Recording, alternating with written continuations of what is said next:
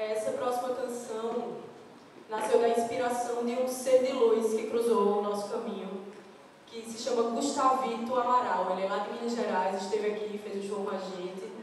E dentro desse tempo difícil que a gente vive no nosso planeta, brotou essa flor de lótus do coração de Gustavito. É bem recente a canção, ele lançou essa semana e a gente já pegou e trouxe para partilhar, que a gente acha que é merecido a gente fazer essa reflexão para casa em nossos corações essa vontade de mudar o mundo. Se cada coração tiver esse desejo de mudar o mundo que, que Gustavo Vito mostra, né, na inspiração que ele teve, a gente pode ser mais feliz. Vamos nessa. Flor de justiça,